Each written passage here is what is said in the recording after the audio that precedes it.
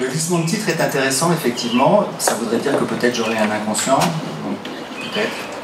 Euh, mais, en tout cas, euh, ce dont je vais parler, ça va être effectivement euh, de cette question de la définition du transfert didactique, de, cette question de comment ça a été construit, pourquoi ça a été construit, et puis en l'exemplifiant sur cette recherche qu'on a menée pendant dix ans avec un professeur des écoles qu'on a appelé Benoît. Donc les ingrédients sont effectivement ceux du titre initial. Peut-être que ce, titre-là est, plus compact et comme toutes les choses compactes, peut-être plus indigeste d'une certaine façon. Donc je vais essayer de le déplier euh, dans, mon exposé. Donc, donc, je suis professeur euh, en sciences de l'éducation euh, à l'université Paris-Descartes, plus précisément au laboratoire EDA, Éducation, Discours et Apprentissage, qui est un laboratoire dirigé par le professeur Eric Roditi, qui est un didacticien des mathématiques. Avant d'être recruté pour mon premier poste d'enseignant-chercheur comme maître de conférence à l'Université Paris-Descartes, euh, j'ai effectivement exercé comme agrégé de mathématiques dans l'enseignement secondaire. Et puis j'ai été formateur d'enseignants et d'enseignants spécialisés à l'UFM de Créteil d'abord, et puis à celui de Paris. Je suis également psychologue clinicien et psychanalyste, et je m'intéresse aux phénomènes inconscients dans les espaces d'enseignement et de formation, euh, peut-être plus particulièrement d'enseignement des mathématiques, mais pas uniquement.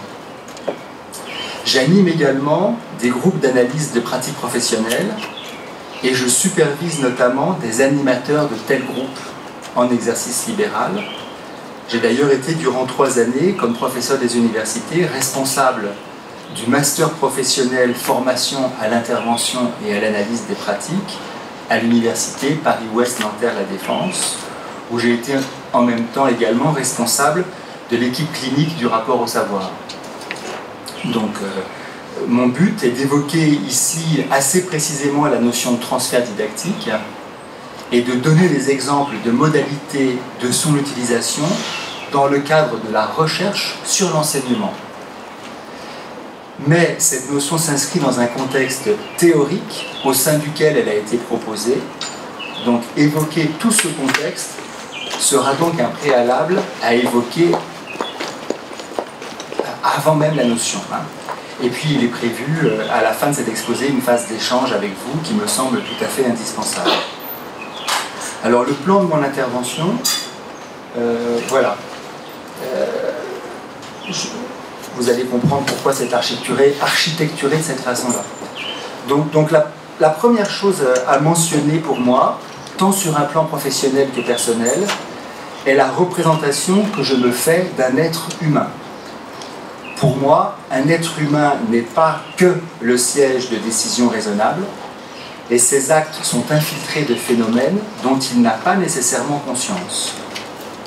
Le travail qui est le mien comme chercheur consiste à identifier et analyser des phénomènes insus, non conscients, chez différents protagonistes de situations d'éducation et de formation. Mais pour le scientifique que je prétends être, il importe de préciser quel est le cadre théorique de compréhension de ces phénomènes qui échappent à la conscience du sujet et que l'on pourrait donc qualifier d'inconscient. Le premier point théorique à assurer est donc de se donner les moyens de dépasser la forme adjective du mot inconscient, qui est d'un usage banal, pour se référer à une théorie consistante d'un inconscient avec le mot inconscient comme substantif cette fois. Donc je vais commencer par inventorier différentes sortes d'inconscients qui pourraient servir d'ancrage à des recherches sur les pratiques enseignantes. Donc pour préciser le sens de la notion d'inconscient, il convient d'examiner des éléments de son histoire. Un ouvrage qui fait référence en la matière est celui de Henri Frédéric Ellenberger, vous avez, je crois, eu la bibliographie de, cet exposé, donc euh, vous avez toutes ces références. Hein. Ce, livre s'intitule L'histoire de la découverte de l'inconscient. Il est paru d'abord en 70 euh, en anglais et puis en français en 1994. C'est intéressant toujours ces décalages entre les éditions françaises et les éditions américaines. Un des apports originaux d'Henri Ellenberger est d'avoir mis l'accent sur la séparation entre deux abords possibles de la notion d'inconscient. D'une part, l'histoire de la découverte et de la théorisation de la notion d'inconscient, et d'autre part, celle de son utilisation pratique et thérapeutique. Et pour cette utilisation pratique et thérapeutique, il évoque des pratiques très anciennes, comme celles des chamans, des exorcistes ou les techniques psychologiques de l'Antiquité. Tandis qu'à propos de l'histoire de la notion d'inconscient, il s'agit pour Ellenberger d'une recherche moins ancienne que celle de l'utilisation de l'inconscient. Cette étude a été l'œuvre cumulative d'un grand nombre de personnes. Ses débuts remontent aux intuitions des mystiques et de quelques philosophes antiques, auxquels il faut ajouter Saint Augustin. Mais c'est surtout après Leibniz que la notion de l'inconscience est précisée et qu'elle s'est développée avec une grande rapidité au XIXe siècle. C'est alors qu'ont surgi les grandes philosophies de l'inconscient, avec von Schubert, Carus, Schopenhauer et von Hartmann, et les premiers travaux de psychologie expérimentale avec Herbart, Kirchner et Helmholtz, sans parler des innombrables recherches de physiologistes, de psychiatres, de magnétiseurs et même de spirites. Fin de la citation d'Ellenberger, ça c'était une citation d'Ellenberger. Il évoque ensuite, ce Henri Ellenberger, la première psychiatrie dynamique, elle recouvre une première vague de tentatives d'articulation, de résultats empiriques avec une théorisation, de Mesmer avec sa fausse théorie du magnétisme animal, où le magnétisme est devenu hypnotisme. Survient ensuite la deuxième psychiatrie dynamique, et ce qui différencie cette première psychiatrie dynamique et la deuxième, c'est que le patient va participer consciemment à son traitement dans cette deuxième psychiatrie dynamique. Dans le cadre de cette participation consciente du patient à son traitement, on trouve en France l'école de Pierre Janet, avec toute son analyse psychologique centrée sur l'exploration du subconscient, et puis la psychanalyse de Freud fondée sur l'inconscient. Quand on entend Elisabeth Rodinesco, dont vous avez sûrement entendu parler, qui est vraiment une historienne de la psychanalyse, elle explique la difficulté de la pénétration de la psychanalyse en France par l'existence de toute l'école euh, de Pierre Janet qui a occupé une place euh, centrale dans la nomenclature française et qui donc, avec sa notion de subconscient, a freiné des cas de fer l'introduction et l'arrivée de la psychanalyse en France. Deux disciples de Freud créeront leur propre courant, la psychologie individuelle d'Alfred Adler et la psychologie analytique de Carl Gustav Jung. Ça, c'est très intéressant quand on est en contact avec des pays anglo-saxons comme le Canada, eh bien, les quelques travaux cliniques où il est question de psychanalyse qui sont euh, répandus dans le monde euh, anglo-saxon canadien, c'est plutôt de la psychanalyse jungienne de la psychanalyse freudienne, en rapport avec l'éducation, j'entends. Un autre écrit sur le sujet me semble également d'un intérêt certain, cet écrit se référant d'ailleurs largement à l'ouvrage d'Ellenberger, c'est un livre qui s'appelle Le corps et le sens, qui est paru en 1998 sur la direction de, et c'est pas un gag, Bernard et Bianca Le Chevalier. Dans le chapitre intitulé L'inconscient, et ils n'ont rien de petites souris, je peux vous dire, hein. c'est plutôt euh, des, gens euh, consistants. Dans le chapitre intitulé L'inconscient cognitif chronique d'un concept, Francis Eustache différencie trois sortes d'inconscients l'inconscient cérébral, l'inconscient cognitif et l'inconscient affectif. Et ça, ça me semble intéressant d'avoir ça comme point de repère. Il appelle inconscient affectif celui qui est issu des théorisations psychanalytiques, donc c'est-à-dire un inconscient freudien, mais aussi un inconscient adlérien ou un inconscient jungien. C'est intéressant de penser qu'il peut y avoir différentes sortes d'inconscient affectifs et qu'il n'y a pas que de la psychanalyse freudienne si vous avez quelques notions de psychanalyse, la psychanalyse lacanienne est inclue dans le champ freudien, bien sûr. Alors, je vais évoquer successivement ces, trois inconscients, c'est-à-dire l'inconscient cérébral, l'inconscient cognitif et l'inconscient affectif, pour vous permettre de saisir où moi je suis et qu'est-ce que j'utilise dans mes recherches comme étayage théorique. Donc l'inconscient cérébral, ben, c'est peut-être des trois inconscients répertoriés par Francis Eustache, celui dont la dénomination nous est la moins familière. En effet, les comparaisons contemporaines mettent plutôt en parallèle l'inconscient cognitif et l'inconscient affectif. Alors, sur le plan de l'inconscient euh, euh, cérébral, l'ouvrage qui fait date, c'est un livre de Marcel Gauchet. C'est de Marcel Gauchet dont je parlais à propos de Dominique Ottavie l'autre fois. Euh, l'objectif est de mettre en lumière une voie historique un peu méconnue par laquelle l'idée d'inconscient s'est introduite dans la culture européenne, plus particulièrement dans la deuxième partie du XIXe siècle. Et cette, cette voie méconnue, c'est la physiologie du réflexe et ses prolongements. Là, c'est vraiment intéressant parce que sur le plan du réflexe et de la physiologie du réflexe, on a vraiment de l'inconscient. Quand on vous tape avec un maillet sous la rotule, vous avez la jambe qui soulève, vous n'en êtes pas conscient. Donc on a vraiment quelque chose de corporel qui échappe à la conscience du sujet. C'est tout ce qui a nourri la théorisation de cet inconscient cérébral. Donc Gauchet souligne comment les neurophysiologistes ont décrit progressivement une activité réflexe spinale, puis cérébrospinale, et enfin une activité inconsciente cérébrale. On a une période de 1870 à 1900 qui constitue l'âge d'or du modèle de l'action réflexe, mais il, mais il semble qu'il y ait autour de 1900 une conjonction de raisons qui vont minimiser la reconnaissance de l'impact de la psychophysiologie.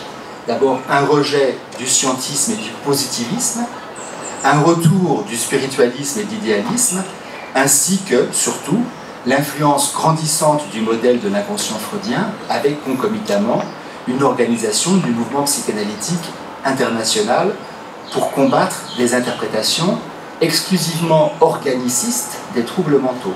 J'ai cité cette anecdote auprès des gens qui avec moi la formation de formateur et je m'en excuse, je m'excuse de la répéter, mais Henri Ellenberger, euh, dans son livre, explicite que la découverte de Freud s'inscrit dans tout un mouvement de l'inconscient, et notamment il produit des textes très intéressants de Théodore Lipps, euh, qu'on aurait, si on en connaissait l'auteur, l'impression d'avoir été écrit par Freud, c'est fascinant. Hein. Où Lipps euh, dit que la psyché c'est comme un iceberg et qu'il y a une partie immergée et que la partie la plus importante, on a vraiment l'impression de lire du Freud dans le texte.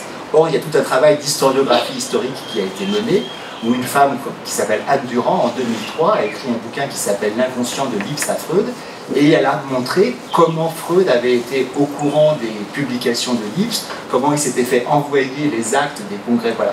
Donc c'est vraiment, on ne dit pas du tout que, que Freud ne vaut rien ou qu'il n'a rien inventé. Il a inventé beaucoup de choses, bien sûr, mais il était quand même inscrit dans un mouvement d'idées où il n'a pas inventé l'inconscient à partir de rien. Et donc Henri Ellenberger dit que la vraie invention de Freud, c'est pas l'inconscient, c'est l'association psychanalytique internationale c'est un peu euh, une boutade, mais pas que, parce que c'est vrai que c'est grâce à l'Association psychanalytique internationale qu'il a pu asseoir la propagation des idées hein, et faire en sorte que ce mouvement perdure. C'est une association extrêmement puissante, encore maintenant. Donc, euh, euh, actuellement, ce qu'on peut dire, c'est que du cérébral revient en force au devant de la scène avec le développement de l'imagerie cérébrale on a tous vu des photos de coupe de cerveau où on vous dit là, vous voyez les taches rouges, c'est là que ça se passe. Quand on apprend, c'est là que ça se passe. Hein. Et ça, ça marche bien parce que c'est très vendeur. Ça marche bien, on a, des subventions quand on est capable de faire des choses comme ça. Même si on les fait sur des rats et qu'on vous dit euh, il y aura des répercussions très importantes pour l'être humain dans 50 ans, mais très importantes pour l'être humain. Et on a les subventions et ça parle bien parce que c'est visuel, si vous voulez. Hein. Euh, donc effectivement, cela dit, c'est très intéressant. C'est extrêmement intéressant. Toutes ces questions. Vous avez peut-être entendu parler des neurones miroirs. C'est que c'est quelque chose de fabuleux, les neurones miroirs. Moi, je suis un tenant de l'observation euh, des nourrissons. J'y reviendrai j'en parlerai plusieurs fois. Euh, on a beaucoup de personnes qui observent des nourrissons, qui font part de ce qu'ils ressentent et, qui disent, par exemple, là, à un moment où le bébé a un réflexe de Moreau ou est complètement tendu, j'ai ressenti quelque chose là. Et puis les gens qui lisent l'observation disent ça c'est juste des délires de gens hystériques. Et puis avec la découverte des neurones miroirs, on a montré qu'il y avait des circuits synaptiques de même nature qui étaient allumés chez la personne qui fait l'action et chez la personne qui regarde l'action. Et que donc il y a des traces absolues chez l'observateur euh, qui sont absolument attrapables euh, avec des critères scientifiques que quelque chose se passe chez l'observateur de même nature que la chose qui se passe chez l'observé.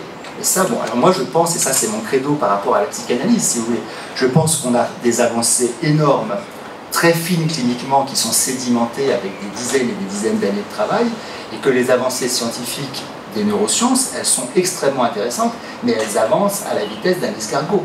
Et heureusement qu'on ne les attend pas pour avancer dans les processus thérapeutiques qu'on met en œuvre. Et moi je pense qu'à tout ça, on aura des explications. J'y reviendrai euh, sur les questions de plasticité neuronale, par exemple. Donc, donc, effectivement, en ce moment, on a de l'inconscient cérébral qui revient au premier plan avec, euh, avec ces histoires de tomographie à émission de positons. Euh, on a les travaux de Dehaene hein, qui, sont, qui nous montrent dans quelle zone du cerveau ça se passe quand un enfant fait des calculs.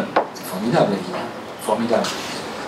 et, moi, quand je vous parle de ça, quand on pense aux zones du cerveau dans lesquelles ça se passe quand un enfant fait des calculs, je pense à cette scène de Être ou Avoir que vous avez vu regarder et qui est absolument terrorisante, où on voit cet enfant qui rentre chez lui et qui a ses parents autour de lui qui lui font faire ses exercices de calcul. Et on se rend bien compte que le rapport au savoir mathématique de l'enfant, c'est pas seulement dans sa tête à lui, pas qu'en dise de haine. Peut-être qu'il y aura dans euh, mille ans des travaux où on branchera aussi des électrodes sur la tête des parents et qu'on s'occupera de la façon dont ça se passe des parents aux enfants, ce sera intéressant. Mais pour l'instant, on n'en est pas là. Mais, moi, je ne crache pas du tout sur les découvertes qui sont faites. Je pense que c'est extrêmement intéressant et qu'on ne peut pas être dans le rejet de tout ça. Il faut simplement penser à articuler de façon articulable, c'est-à-dire quand c'est commensurable. Et ça n'est pas toujours commensurable. Alors, euh, on, se rend bien compte que sur l'inconscient euh, cérébral, en tout cas, les, les débats scientifiques sont, sont autour de connaissances liées à des avancées technologiques et donc très contextualisé dans le temps, et que plus ces choses-là vont bouger, plus on apprendra des choses incontestablement. Alors l'inconscient cognitif maintenant. Ben, l'inconscient cognitif, c'est une notion qui nous semble moins étrangère que celle d'inconscient cérébral, et c'est visiblement à cause de, l'importance donnée aux sciences cognitives. les sciences cognitives, d'après un pédopsychiatre psychanalyste euh, avec lequel j'ai quelques familiarités, qui s'appelle Didier Houzel, euh, ont en commun, dit-il, leur méthode expérimentale, leur référence à l'organicité et à la biologie, et l'étude des procédures de traitement de l'information entre un état initial et un état final stable.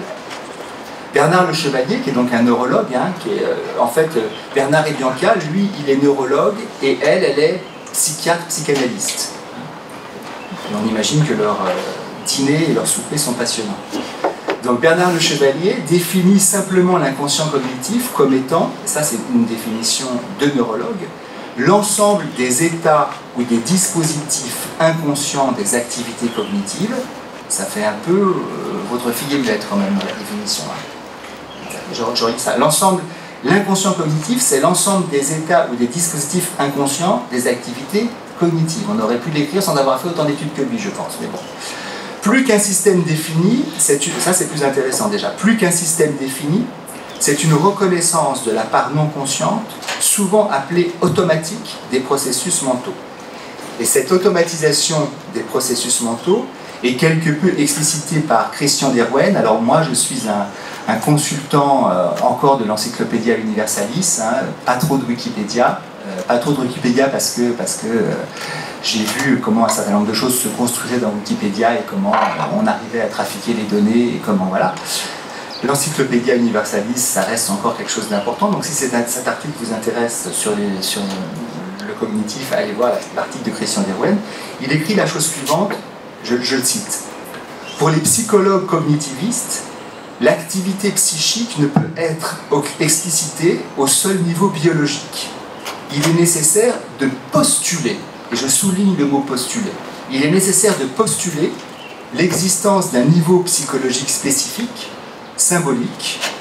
Par analogie avec les systèmes informatiques, cette activité symbolique est décrite comme relevant des neurones sans en être une propriété intrinsèque. Le code, c'est toujours Derwan qui parle, hein, le code comprend un niveau computationnel, fonctionnel, qui concerne les relations entre les symboles, sans tenir compte de leur contenu, et un niveau sémantique qui prend en compte le contenu et l'objectif de l'activité sous forme de représentation mentale. Les représentations mentales sont, dans cette perspective donc cognitive, des constructions théoriques postulées. C'est encore moi qui souligne pour expliquer, comprendre et prédire le comportement de l'organisme. Paradoxalement, finalement, fin de la citation, dans ce cadre, l'existence de la conscience est plus problématique que celle des processus psychiques inconscients.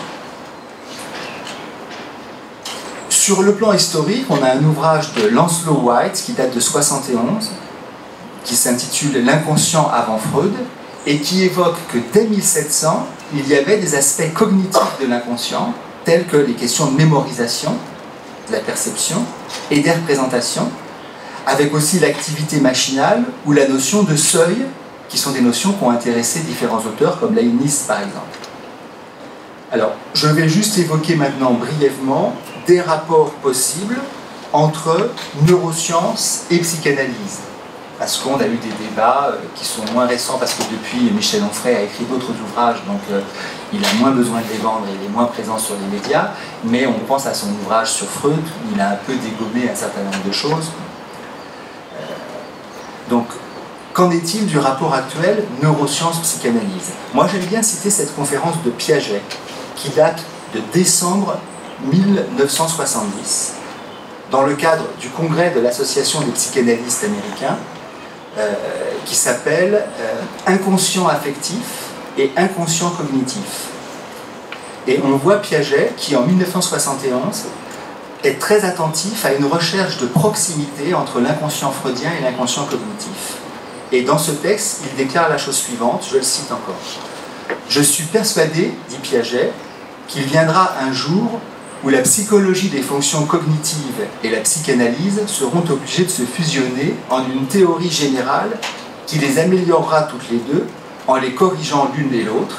Et c'est cet avenir qu'il convient de préparer en montrant dès aujourd'hui les rapports qui peuvent exister entre les deux. On était en 1971. Ça fait peur un peu. Hein.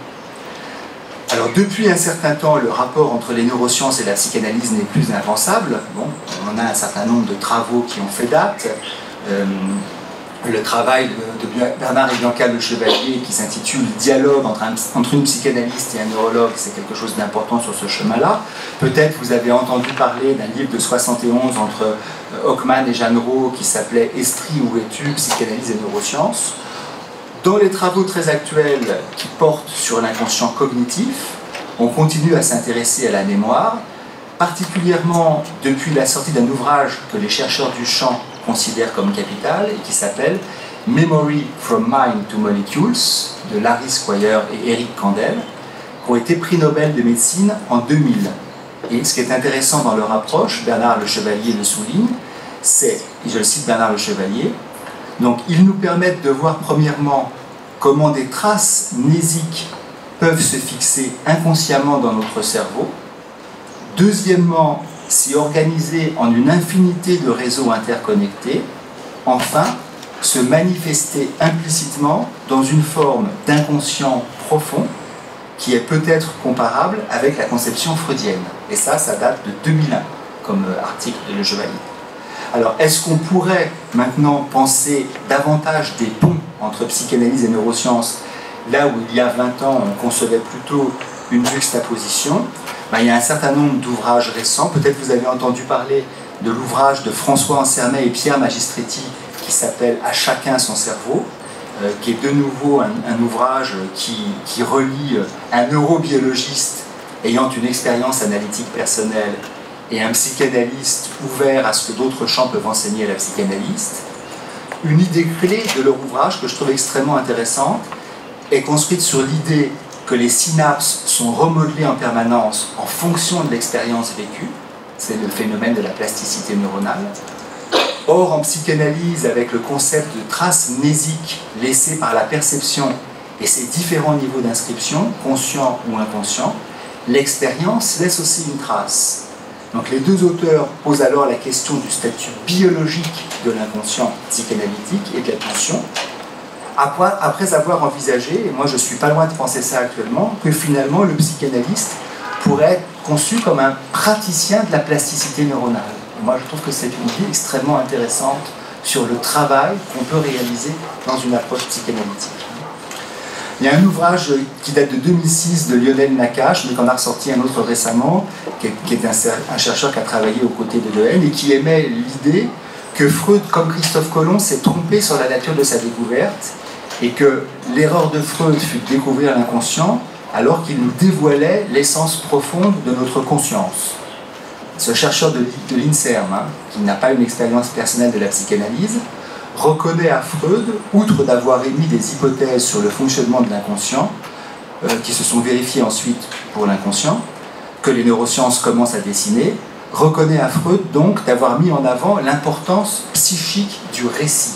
Et ça aussi, c'est quelque chose de très important qui est vraiment utilisé par des thérapeutes de toutes obédiences théoriques, cette importance du récit. Ainsi, il écrit La vie psychique envisagée depuis ce lieu intime qu'est notre fonctionnement conscient est une construction fictive. Cette fiction est la seule réalité possible dans notre vie psychique.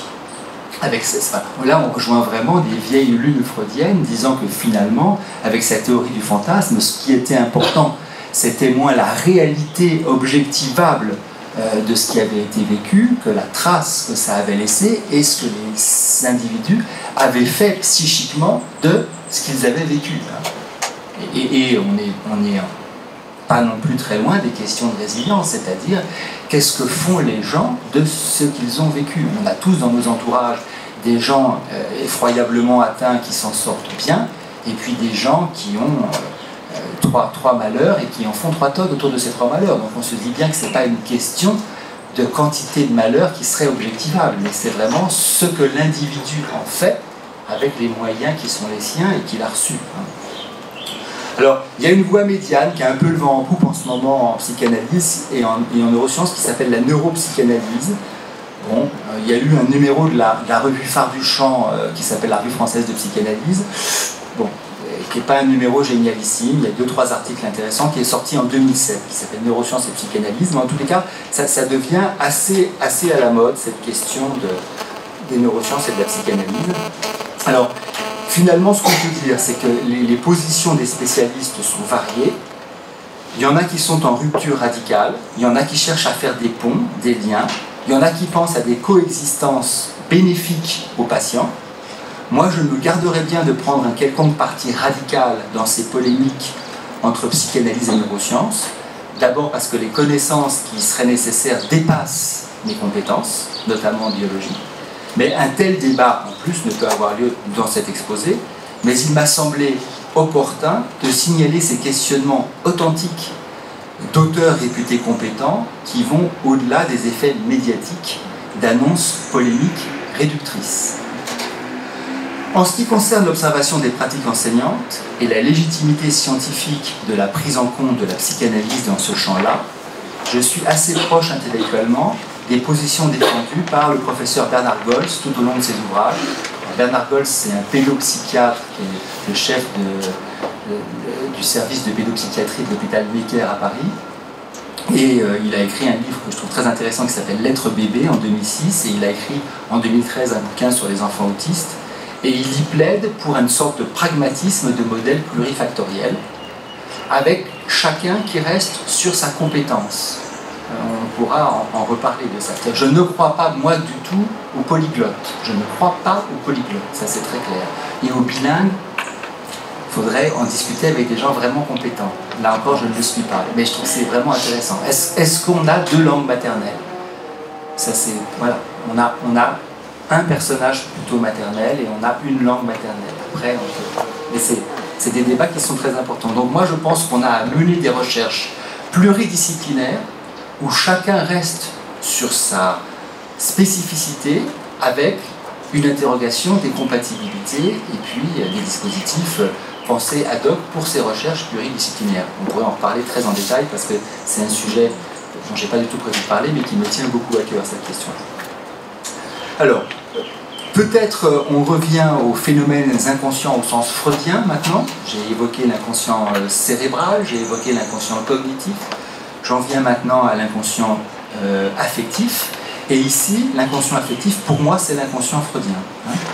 Donc, quand on regarde la théorisation de Freud, c'est une théorisation qui l'a conduite de la forme substantive du mot inconscient à la forme adjective. C'est-à-dire que c'est un trajet dans l'œuvre de Freud qui est opposé au trajet étymologique. Sur le plan étymologique, la forme substantive a existé après la forme adjective.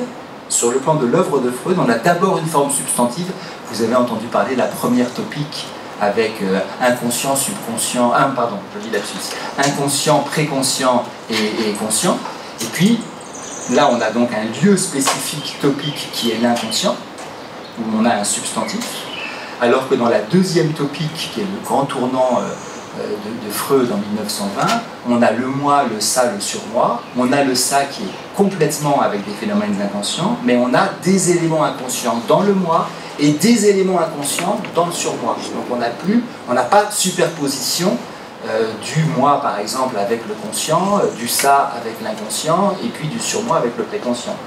Il, en est des théories freudiennes comme des réformes de l'éducation nationale. On n'élimine jamais rien, on stratifie.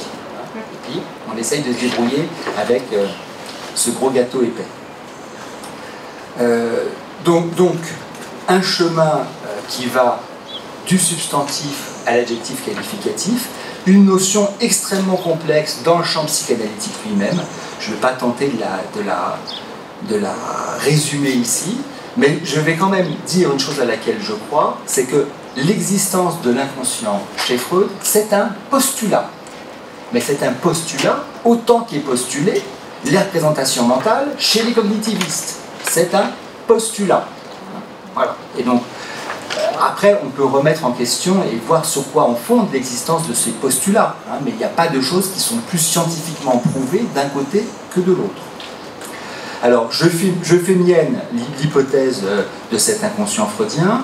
Euh, bon, finalement, moi, je pourrais résumer cette hypothèse de l'inconscient freudien en disant que pour moi, L'inconscient freudien, c'est constitué de la représentation de l'appareil psychique selon les deux topiques cumulés, et puis les développements théoriques qui l'accompagnent, la métapsychologie en somme, mais éclairée d'apports contemporains qui m'ont parlé. Cette appréciation de ce qui me parle se fait notamment par les possibilités d'articulation entre mon expérience clinique directe et les recherches cliniques que je mène individuellement ou plus collectivement dans le cadre d'un travail codisciplinaire que je pourrais expliciter. Je suis particulièrement sensible à des théorisations du courant anglo-saxon dans la mouvance clanienne, comme celle d'Esterbeek ou de Bion, mais aussi à des avancées dans la lignée d'Anna Freud, sans oublier évidemment des concepts de euh, Winnicott. Euh, pour moi, clairement, la psychanalyse, ça n'est pas qu'un corpus théorique et ça ne peut pas être qu'un corpus théorique. Euh, j'ai beaucoup de mal à rentrer en communication avec des philosophes qui jargonnent de la psychanalyse et qui ne se sont jamais allongés sur un divan. Pour moi, la psychanalyse, c'est un va-et-vient entre une expérience, celle de la cure, et puis de la théorisation. Et, ça n'a de sens que dans ce va-et-vient-là. C'est pour ça, par exemple, que bien que mathématicien de formation, euh, je n'utilise pas de théorie lacanienne auquel je ne comprends rien. Euh, voilà, je pense, alors je ne comprends rien. Si j'étais de très mauvaise foi, ce qui m'arrive d'être parfois, je dirais que j'ai discuté avec des collègues qui font de la topologie, me disant qu'ils ne comprennent rien à la topologie de Lacan, mais vraisemblablement parce qu'ils ne sont pas psychanalystes lacaniens. Et j'ai discuté avec des collègues psychanalystes qui me disent qu'ils ne comprennent rien à la théorie de Lacan parce qu'ils ne sont pas mathématiciens ça m'interroge un peu, moi, si vous voulez, ces questions-là. Euh, moi, je travaille avec des, psychanalystes lacaniens qui ne sont pas ce que j'appelle des lacaniens calcifiés, c'est-à-dire des gens qui sont rigidifiés sur leur posture. Voilà, et il y, a des, gens tout à fait fréquentables avec lesquels on peut discuter. Les gens du quatrième groupe, par exemple, si vous connaissez un peu les, arcanes psychanalytiques. Euh, mais en tous les cas, je ne parlerai pas non plus de l'aspect lacanien parce que je n'ai pas d'expérience de la cure lacanienne en m'étant allongé sur un divan. C'est pas tout à fait vrai. Ma première tranche de cure qui a duré 5 ans, à 3 fois par semaine, c'était avec quelqu'un qui était plutôt dans un courant lacanien. Mais comme elle ne parlait pas, j'ai jamais pu mettre en, en lien euh, ce qu'elle ne disait pas et la théorie. Non, je plaisante en disant ça. Mais voilà. Mais, mais bon, moi, moi j'ai besoin de pouvoir faire ce va-et-vient entre une clinique éventuellement la mienne, celle des autres, et de la théorie. Et la théorie pour la théorie, ça ne me parle absolument pas, et particulièrement en psychanalyse. Voilà. Alors, je pense que ce qui est intéressant maintenant, et ce qui découle logiquement du postulat de l'existence de phénomènes inconscients au sens freudien, c'est des moyens qu'on se donne en recherche pour appréhender ces phénomènes inconscients. Si on voulait faire un travail complet sur ce plan-là, il faudrait aller faire une incursion du côté des démarches cliniques en sciences humaines, puisque c'est dans certaines de ces démarches que l'on se donne les moyens d'appréhender les phénomènes inconscients. Alors on pourrait aller par exemple du côté de la clinique médicale, de la psychologie clinique, des sociologies cliniques, la psychologie sociale clinique et la psychosociologie clinique, c'est pas pareil. Hein. Ce serait aussi intéressant d'aller voir comment est définie l'approche clinique didactique de Francia Le Ténéguer, une approche clinique où il n'est pas du tout question d'inconscient. Hein. Euh, voilà. Mais le passage à travers toutes ces disciplines serait ici de nouveau un détour trop important. Euh, moi, je vais plutôt recentrer mon propos sur l'approche clinique d'orientation psychanalytique en sciences de l'éducation. Et là, j'arrive à peu près à dire des choses qui se tiennent. Donc, une approche clinique euh, d'orientation psychanalytique en sciences de l'éducation, pour moi, il y a un texte important qui fait date, donc vous avez la référence dans la bibliographie, qui est le texte de Nicole Mosconi qui s'appelle De l'application de la psychanalyse à l'éducation. Ce, dans ce texte, Nicole Mosconi, qui est philosophe de formation, montre que la notion d'application de la psychanalyse à l'éducation peut s'entendre dans deux sens. Alors, je la cite celui de l'utilisation de connaissances théoriques pour produire un savoir prescriptif éclairant une pratique, ça c'est le premier sens du mot application, je redis ça, utilisation de connaissances théoriques pour produire un savoir prescriptif éclairant une pratique, ça c'est un premier sens du mot application. Mais deuxième sens du mot application, c'est celui d'une science appliquée, au sens d'un usage de théories et de concepts scientifiques en vue de la connaissance théorique d'un nouveau domaine d'objet. Comme on peut dire par exemple que euh, l'optique, c'est une science appliquée de la géométrie. Ou comme on peut dire que l'analyse factorielle, c'est une science appliquée de l'algèbre linéaire, contrairement à ce qu'on pourrait penser. Comme on peut dire que la mécanique, c'est une science appliquée des mathématiques. Donc deux sens au mot application, un savoir prescriptif éclairant des pratiques, et puis une nouvelle science théorique qui est issue d'une autre science théorique. Et ce que montre dans cet article Nicole Mosconi, c'est qu'à son avis, pour pouvoir appliquer la psychanalyse à l'éducation, faut d'abord, avant d'en pouvoir faire une science qui va prescrire, ce qu'elle pourra jamais être à mon avis, il faut d'abord essayer d'établir un corpus théorique ad hoc pour l'éducation.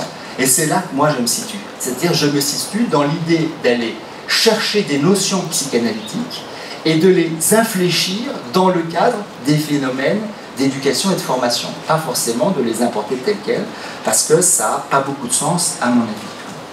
Euh, et, donc, euh, et donc ça va être effectivement le sens de cette notion de transfert, euh, transfert didactique, qui est typiquement une notion qui a été forgée à partir de notions psychanalytiques, que je vais expliciter, mais qui n'est pas du transfert dans la situation didactique, je vais l'expliciter aussi.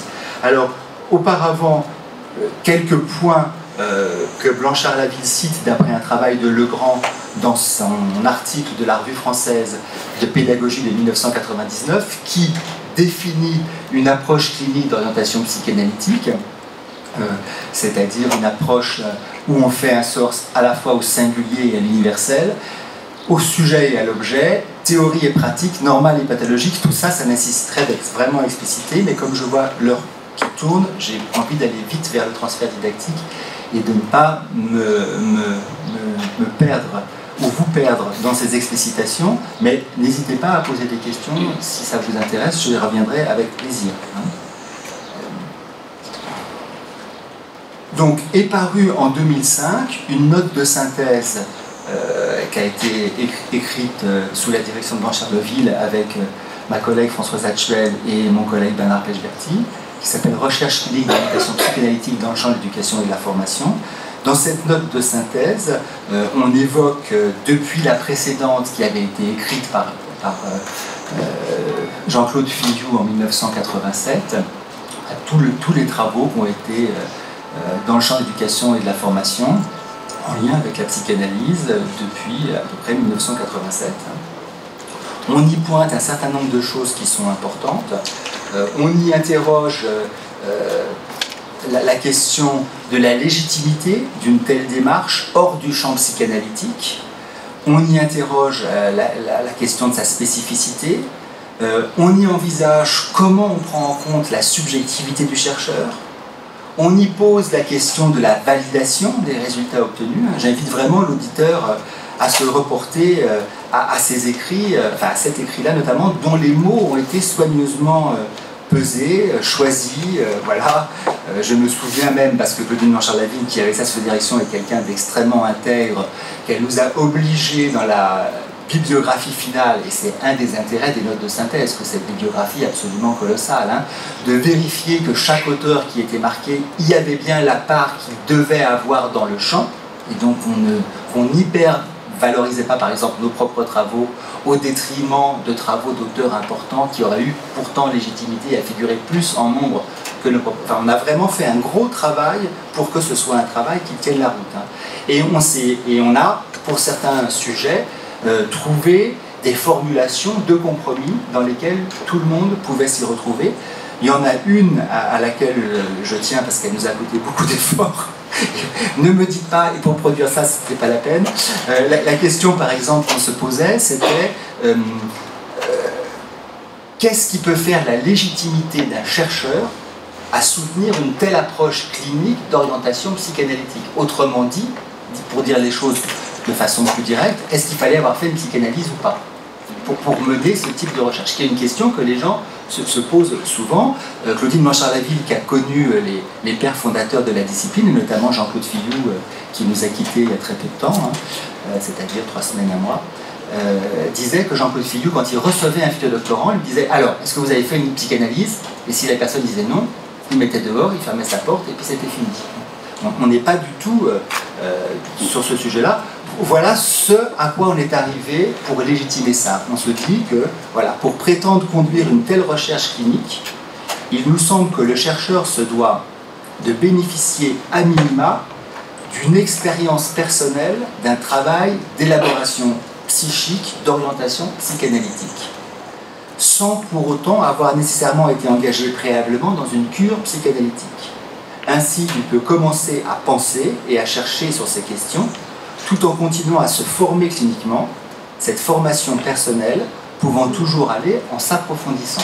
Typiquement, les expériences dont on parle là, par exemple, ce sont des participations de nos, euh, doctorants euh, quand ils étaient des professionnels, à des groupes d'orientation BALINT d'analyse des pratiques. Et quand on a participé à un groupe d'orientation BALINT d'analyse des pratiques, on a expériencé les phénomènes d'inconscient. Et on peut sûrement en parler avec moins d'illégitimité que quand on n'a jamais approché d'une façon euh, appropriée ce type de phénomène-là. Et puis c'est clair que, que on, est, on, est, euh, on est amené à faire du travail peut-être qui s'approfondit. Euh, je conduis un séminaire clinique avec Claudine Blanchard-Laville pour nos doctorants. Je vous donne un exemple du type de travail que, cet accompagnement-là permet de, mettre en mouvement euh, chez les, participants. J'ai un doctorant qui travaille sur les enseignants de mathématiques débutants. C'est un doctorant qui évidemment, vous imaginez, formateur d'enseignants de mathématiques, bien sûr. Hein. Vous connaissez ça évidemment par cœur pour vous-même et pour vos doctorants. Euh, et il est coincé, il a été coincé énormément entre observation et entretien. C'est-à-dire qu'il avait du mal à se déterminer. Est-ce qu'il allait euh, aller visiter des gens et quel type d'observation, est-ce qu'il allait mener des entretiens et ce, et ce va-et-vient là longtemps longtemps préoccupé, on lui donnait des tas d'explications sur les entretiens cliniques, il faisait des passages à l'acte, il posait des questions, il sortait du cadre, enfin voilà. Au bout de trois ans de séminaire est sortie une scène fondatrice pour lui à laquelle il a associé, qui était la scène suivante. Il s'est souvenu qu'au moment de la mort de son père, il n'a pas pu voir le corps de son père. Il était petit, sa mère a fait en sorte qu'il ne voit pas le corps de son et, et on voyait là arriver à ce moment-là dans le séminaire exactement sa problématique du dit et du vu. C'était hallucinant de prendre conscience de ça. On était exactement sur la question de l'observation et de l'entretien. C'est-à-dire à quoi j'accorde du prix, qu'est-ce qui fait sens pour moi, à ce qu'on me dit ou à ce que je vois? Quand on a pu élaborer ça et faire cette connexion-là, la méthodologie a été trouvée et, la thèse va se soutenir en juin. Mais ça n'a pu, ça pu commencer à, émerger qu'au bout de trois ans de séminaire. Et ce n'était pas, pas une situation simple du tout. Hein. Ça a l'air un peu... Euh, euh, voilà, mais, ça s'est vraiment passé comme ça. C'est très étonnant de, prendre conscience de tout ça. Moi, je suis convaincu que on a des éléments qui nous concernent de très très près dans les méthodologies de recherche qu'on met en œuvre. Après, quelle part on leur donne et, ce qu'on en fait. En tous les cas, quand on travaille avec des méthodologies pour attraper des phénomènes psychiques inconscients, comme le seul outil dont on dispose, c'est sa propre psyché, on a intérêt à être un peu moins pas au clair avec ce qui se passe dans sa tête. Donc, euh, le postulat de l'inconscient détermine le choix de la méthode. Euh, pour moi, dans, finalement l'expression approche clinique d'orientation psychanalytique en sciences de l'éducation, c'est une expression quasiment syntagmatique. Pour moi, en sciences humaines, il n'y a pas euh, une approche clinique, mais il y a des approches cliniques.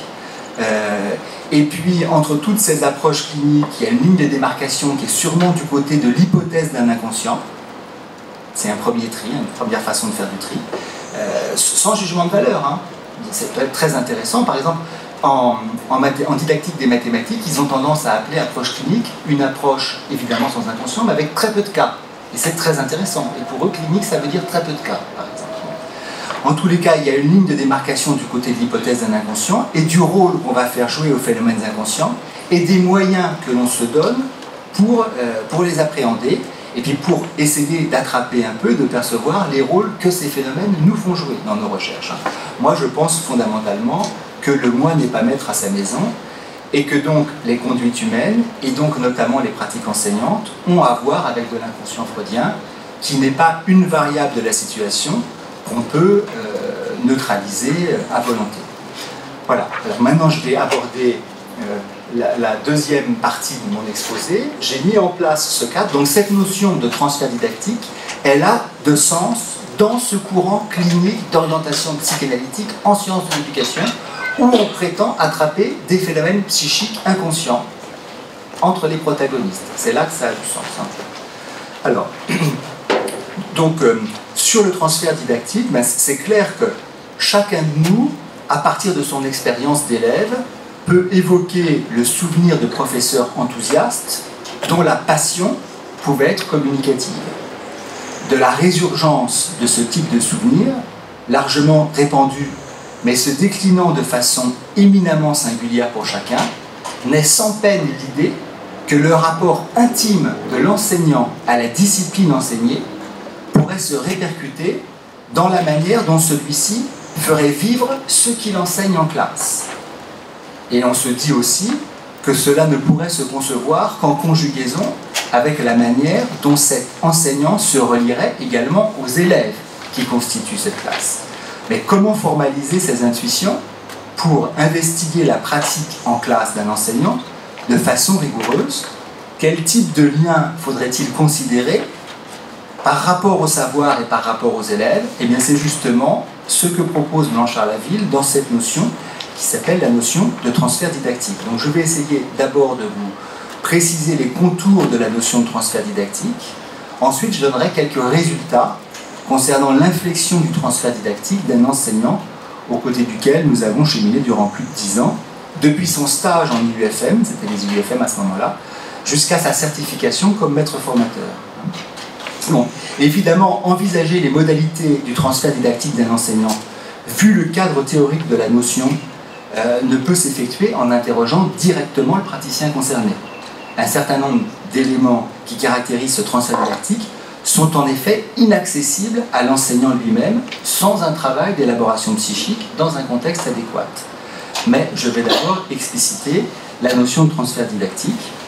Donc la notion de transfert didactique, elle est constituée de transfert et didactique. Donc on va regarder indépendamment ces deux mots et puis on va voir ce que leur appariement produit.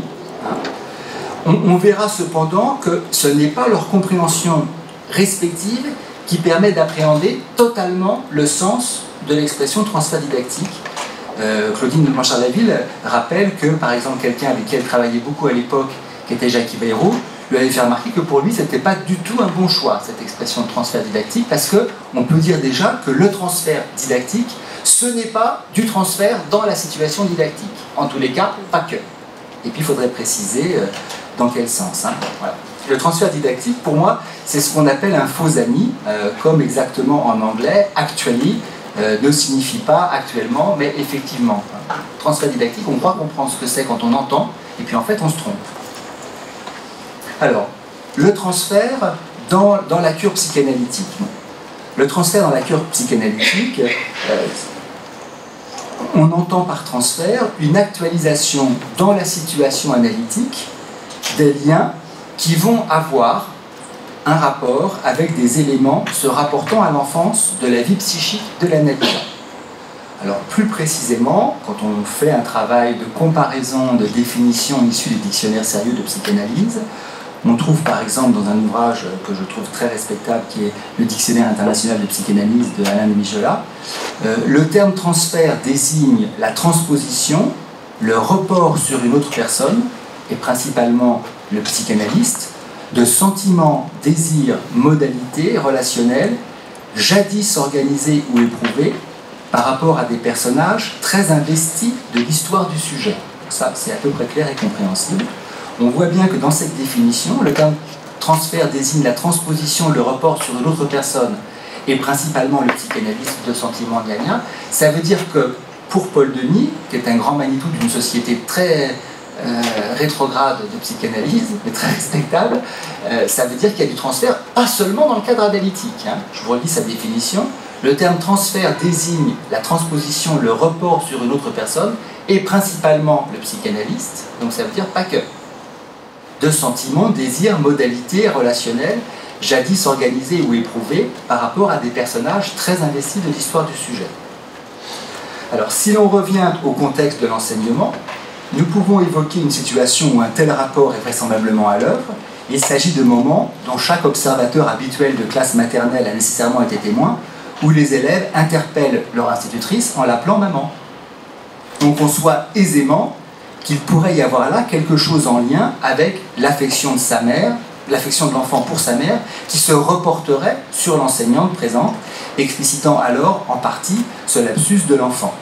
Moi, je trouve ça intéressant maintenant d'aller voir quel genre de lapsus font les enfants dans les classes d'école maternelle où il y a des enseignants hommes. Est-ce que c'est encore maman? Moi, je ferais le pari que c'est encore maman et pas papa. Mais c'est intéressant parce que ça signe quelque chose de la position symbolique de l'enseignant maternelle, indépendamment de son genre. Alors, mais, mais dans ce cas-là, par exemple, est-ce qu'il s'agit bien de transfert au sens psychanalytique? Ben, Deux raisons font de mes doutes sur, sur le, passage de euh, maman, l'institutrice maman, est-ce que c'est du transfert? D'abord parce que dans l'histoire de la psychanalyse, il y a eu des tas de conflits sur le fait que les enfants, ça transférait pas. C'est toute la, question des, grandes controverses entre Mélanie Klein et Anne Freud, qui dit l'une disant les enfants, ça, les enfants, ça peut pas transférer parce que on transfère ce qu'on appelle des imagos parentaux, c'est-à-dire des parents internalisés. Or, pour les enfants, c'est encore en train de se constituer, et donc, puisque ça se constitue, ça ne peut pas se déplacer. C'est ce que disait Anna Freud. Donc, en tous les cas, c'est pas simple, cette question de transfert en psychanalyse d'enfants. Et, puis, il y a des auteurs psychanalystes qui veulent dire que le transfert, c'est que dans la cure de psychanalyse et pas ailleurs. Il y a un très joli texte de Freud que je vous invite à lire, qui est un texte qui s'appelle Sur la psychologie du lycéen, qui a été écrit en 1914, qui est le seul texte où Freud fait une mention explicite de phénomènes transférentiels dans une situation d'éducation. C'est un texte qui est très lisible, où Freud raconte comment euh, les, jeunes qu'ils étaient tombaient amoureux de leurs enseignants et pourquoi. Comment, ça, quelque chose du rapport à leurs parents se rejouait et se déplaçait sur la figure de leur maître. Bon, si on, met en lien cette histoire de il n'y a pas de transfert pour certains psychanalystes avec les enfants, et puis si on, avec le fait que pour certains psychanalystes, transfert c'est juste dans la cure et qu'on ne peut pas être ailleurs de la cure, on voit bien qu'on se trouve d'emblée confronté aux difficultés d'ordre épistémologique par rapport à l'usage de notions psychanalytiques classiques dans et hors la cure. Dans la cure, la psychanalyse a évolué, et puis il y a des notions théoriques qui se sont infléchies, enrichies, etc. On fait de la psychanalyse d'enfants, on fait maintenant de la psychanalyse de patients réputés psychotiques, on fait de la psychanalyse de patients dits on fait de la psychanalyse de, groupe, on fait de la psychanalyse de, de mère-bébé, de triade père-mère-bébé, etc. Ce qu'on ne faisait pas à l'époque de Freud. Et puis ensuite, il y a toute la question de la psychanalyse hors la cure classique, voire celle de son application hors du champ strict thérapeutique. Là encore, euh, les questions sont, en suspens, méritent d'être débattues, ne sont pas simples. Ce pas des questions simples. Si on reprend cette question du transfert dans la situation d'enseignement pour en montrer euh, la complexité, ben, par exemple, on pourrait se dire, essayons de mettre en parallèle la situation d'enseignement et celle de la cure. On peut penser dans un premier temps que le professeur serait à la place de l'analyste et l'élève à celui de l'analysant, puisqu'il s'agirait du transfert des élèves sur l'enseignant, de quelque chose qui aurait à voir avec de l'enfance des élèves, que les élèves reporteraient sur leurs enseignants, comme Freud l'évoque dans ce texte de 1914. Ce transfert serait donc à l'image de celui du patient vers l'analyste dans la cure, mais ne pourrait-on pas concevoir, en fait, que c'est le professeur qui est soumis à l'injonction de parler à horaire fixe dans un cadre régulier, et donc que ce serait lui qui, en fait, serait en situation d'analysant. D'ailleurs, c'est l'enseignant qui a la main dans une initiation de relations pédagogiques. Ce qu'est le dialogue autour du savoir, hein, tout comme c'est l'analysant qui est à l'initiative de sa demande d'analyse. Donc finalement, on se rend compte que dès qu'on réfléchit un petit peu, les choses sont, comme très souvent, extrêmement complexes. Et qu'on ne peut pas transférer, si j'ose dire, directement le transfert de la cure à la classe, et que même si on envisage de le plaquer, on ne sait pas qui est analysant, qui est analyste dans cette affaire-là. Voilà. donc, donc, il y a cette partie dans le transfert didactique, et puis il y a maintenant toute la question du didactique dans le transfert didactique. Donc, le didactique dans le transfert didactique, c'est pas simplement une façon sophistiquée de parler du pédagogique. Blanchard Laville, dans son histoire, c'était une mathématicienne. C'est quelqu'un qui a beaucoup fréquenté la didactique des maths, qui a, travaillé avec Guy Brousseau sur le KGL, qui a travaillé avec Yves Chevalard euh, dans, un, séminaire dont elle a rendu compte euh, dans certains de ses ouvrages. Et puis, euh, je vous invite à, regarder un ouvrage qui s'appelle Le colloque épistolaire, qui a été publié chez Français Sauvage, où on voit des, discussions entre Blanchard Laville, Schubert Léonie et Chevalard autour de ces questions-là. C'est extrêmement instructif. Hein. Donc, si elle a choisi le mot didactique pour accoler au mot transfert, c'est pas seulement comme un, synonyme de pédagogique, mais c'est parce qu'elle croit vraiment à cette question de la didactique au sens didactique des mathématiques des années 70, c'est-à-dire ce que ces chercheurs ont montré quand ils montrent comment la spécificité de la nature du savoir enseigné est indispensable à considérer quand on mène une analyse de séance d'enseignement. Et, ça, moi, j'adhère aussi à cette question-là, c'est-à-dire que on n'enseigne pas une discipline particulière de la même façon qu'on enseigne d'autres disciplines. Voilà. Chacune a leur spécificité et chacune, à mon avis, vient se brancher sur des aspects du rapport au savoir de l'enseignant. Il y aurait un travail, il y a des tas de travaux à mener encore en, recherche. Hein. par exemple, moi, j'adorerais que on regarde le transfert didactique d'un enseignant du premier degré comme on l'a fait nous sur les maths, mais le même sur le français, par exemple. Est-ce qu'on pourrait dire en recherche, est-ce qu'on pourrait trouver des points communs Est-ce que ça s'infléchirait pareil Est-ce qu'on retrouverait des éléments communs? Ou aller voir le rapport au savoir de cet enseignant dans la discipline dans laquelle il a passé sa licence, par exemple, dans le cadre de PE. Est-ce qu'il y a des différences? Comment ça se passe Comment ça se passe pour un enseignant du premier degré qui a une licence disciplinaire ou une licence de sciences de l'éducation? Ben, Moi, je trouve que c'est. Et, à mon avis, il y a des choses qui sont en amont de tout ça et qui viennent vraiment de son propre rapport au savoir, voire de sa culture familiale et de, et de son rapport à une forme de spécificité, de spécialité, etc. Donc finalement, le mot didactique, dans le transfert didactique, c'est pas simplement du pédagogique, mais ça connote vraiment un rapport au savoir très particulier, au savoir enseigné. En fait, la notion de, transfert didactique, elle a été théorisée par Blanchard Laville sur des enseignants du second degré au départ. Et, donc le travail qu'on a fait sur Benoît, c'était un travail très particulier. Alors voilà une définition du, transfert didactique. Hein. Voilà, ce qu'en dit Blanchard Laville dans un texte qui est tiré d'une revue phare en didactique des maths qui s'appelle la, RDM, la, revue de la recherche en didactique des mathématiques. L'espace d'enseignement est structuré au niveau psychique par un scénario projeté par l'enseignant, Ce scénario a partie lié au mode de lien que l'enseignant installe avec les élèves, mais aussi au rapport au savoir qu'il manifeste dans la situation. J'ai proposé de nommer transfert didactique cette force modelante qui façonne l'espace didactique au niveau psychique. Donc le transfert didactique, c'est à la fois quelque chose qui relève de l'actualisation du rapport au savoir de l'enseignant en situation d'enseignement et quelque chose qui relève de quels sont les liens et les rapports affectifs qu'il échange avec les élèves. On est vraiment sur quelque chose qui a cette double polarité. Il y a une autre définition qui éclaire peut-être un peu la première.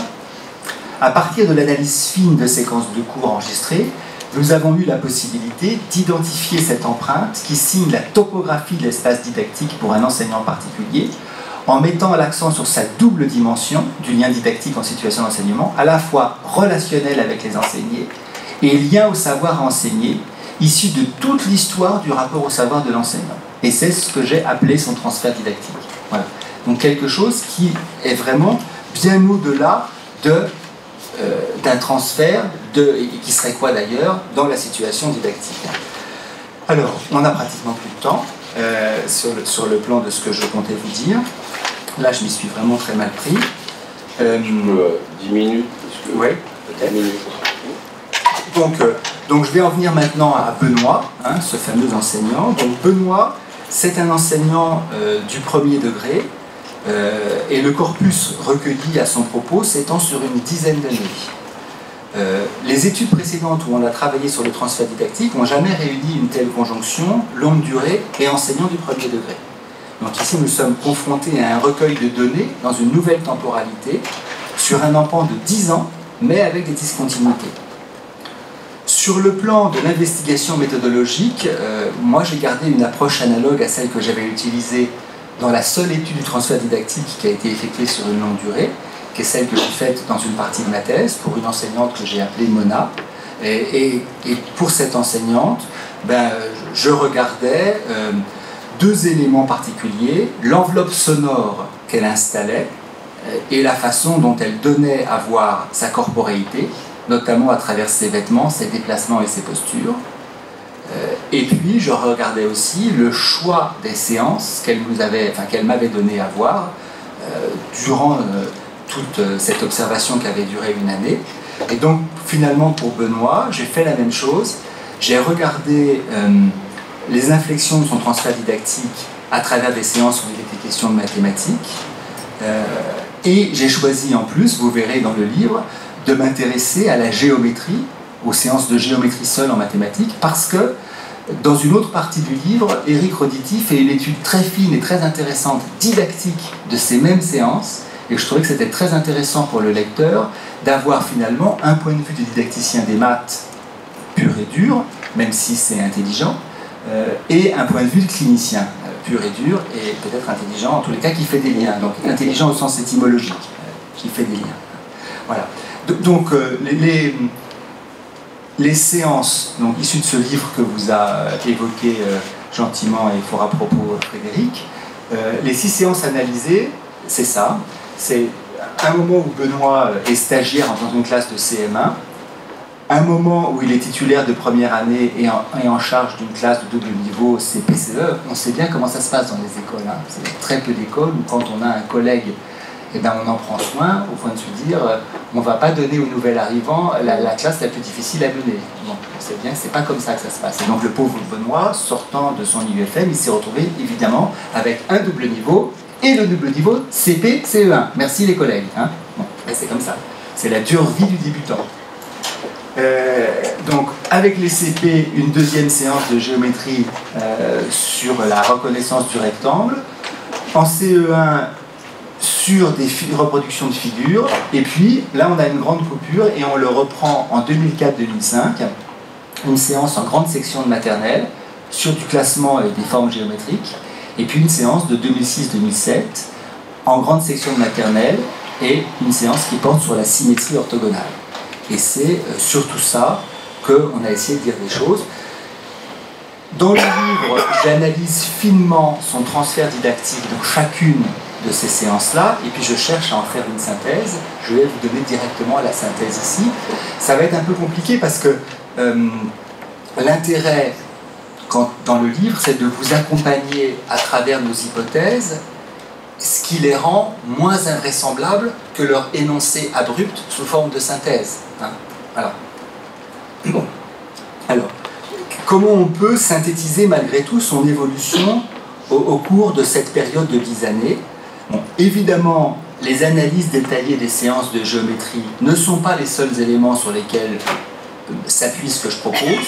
Il y a également ce que j'ai pu retirer de l'étude d'autres séances de mathématiques effectuées par Benoît, qui ne sont pas de la géométrie, et qui ont nécessairement alimenté mes analyses de façon sous-jacente, et puis a aussi nourri mes réflexions, tout le fructueux travail du, groupe de recherche avec mes collègues chercheurs, les discussions des hypothèses des uns et des autres, durant un long laps de temps de recherche en commun, plus long encore que les dix années durant lesquelles euh, nous considérons la pratique de cet enseignant pour cet ouvrage. Enfin, il y a en plus qui nourrit euh, mes, hypothèses, la légitimité du clinicien que je suis, euh, qui s'autorise à travailler sur un nombre restreint de séances et, qui fonde cette légitimité sur une expérience consistante d'années de formation et de travail clinique sur les pratiques enseignantes. Cependant, à travers l'analyse clinique des séances de géométrie, nous avons envisagé finement l'évolution d'éléments contributifs à la qualité de l'espace psychique qu'il installe dans la classe, principalement au niveau non verbal, enveloppe sonore et corps de l'enseignant, à travers une évocation de ses vêtements et de son visage et de ses déplacements. Et euh, donc, sur le plan sonore, à partir de ce qui nous est donné à entendre durant les séances de géométrie, de cette longue phase de 1999 à 2007, on est témoin d'une forme de maîtrise qui gagne en sérénité, au niveau de son visage, au fil des dix années, c'est comme si quelque chose de l'expérience professionnelle euh, qui s'épaississait se traduisait par une moindre mobilité des expressions de son visage. Comme si quelque chose s'apaisait dans ces dix ans, mais au détriment d'une forme de vivacité. Au niveau corporel et gestuel, on peut dire globalement que Benoît semble avoir conservé un certain nombre de qualités qui caractérisaient ses postures et ses déplacements, son aisance, la diversité de sa palette des possibles. Des éléments se sont bonifiés, comme l'utilisation plus adéquate de la distance physique entre lui, chaque élève et les groupes d'élèves, selon les différents types d'interactions, mais des éléments subsistent qui sont peut-être des points qui le concernent plus profondément, comme souvent des retours corporels à des points de contact physique avec lui-même comme ça, des choses comme ça, qui vraiment sont euh, constantes durant toute cette période. Au niveau des mathématiques qu'il fait fréquenter à ses élèves, suivant le fil chronologique de l'analyse des séances, nous avons vu que les éléments de la pratique de Benoît se modifiaient au fil du temps et que d'autres restaient relativement stables. J'ai un, autre chapitre du livre, ça s'appelle euh, Changement et permanence dans le livre. Hein. Ainsi, au long des séances examinées, constatons encore de relatives difficultés dans l'analyse a priori des situations et dans une anticipation très précise de difficultés matérielles de leur réalisation. Cependant, au fur et à mesure de l'expérience que l'enseignant acquiert, l'usage de ses excellentes qualités d'animateur devient plus pertinent dans la gestion même d'interactions en lien avec le savoir. Par ailleurs, quelque chose de ce qui pouvait sembler le déborder au niveau de ses rapports avec les élèves, et notamment dans sa propre contribution à une forme d'excitation qui parfois finissait par le dépasser, ce quelque chose s'apaise au profit d'une gestion plus maîtrisée de la classe, sans que sa spontanéité ne disparaisse. Reste aussi très présente tout au long de cette tranche d'exercice professionnel ses qualités d'observateur et son esprit d'à propos dans la gestion de divers incidents. Malgré tout, cela reste plus pertinent pour les incidents liés à la vie de la classe que pour les incidents proprement didactiques, bien que, nous l'avons vu, il existe aussi une amélioration sur ce plan au fil du temps. On pourrait distinguer deux déclinaisons de son rapport aux mathématiques. Un rapport personnel, métabolisé à partir de ce qui lui a été transmis en tant qu'élève ou étudiant, ou même comme individu, hors enseignement institutionnalisé, et un rapport aux mathématiques qu'il enseigne. Si son rapport personnel semble très prégnant au début de son enseignement, il semble que son rapport aux mathématiques qu'il enseigne se soit infléchi en utilisant à son profit les qualités intrinsèques de Benoît. Je vais euh, vous livrer et puis ensuite écouter vos questions. Euh, la, conclusion de Benoît sur le travail euh, qu'on a effectué avec lui, que je trouve, voilà, il dit ça à propos de la recherche. Je me suis moi-même détaché non pas de l'intérêt porté à la recherche du groupe, mais plutôt du fil invisible qui m'a aidé dans ma construction personnelle et professionnelle. Cette relation avec les élèves, si importante au départ car influencée par un parcours personnel, s'est finalement professionnalisée. Elle reste au cœur de mes préoccupations d'enseignant car essentielle au beau fonctionnement de la classe. Mais elle est moins sensible, plus professionnelle, influencée par mes expériences, mes analyses, mes échanges avec le groupe de recherche. Finalement, je ne suis plus le même Benoît tout en étant quand même Benoît. C'est une, jolie, euh, une jolie phrase de conclusion, surtout quand on fait résonner le sens du mot Benoît en français. Voilà, je vous remercie de votre attention. Je, vous invite vraiment à regarder le chapitre du livre parce qu'il est beaucoup plus détaillé que ce parcours express que j'ai euh, maladroitement tenté avec vous euh, durant cette, cette heure.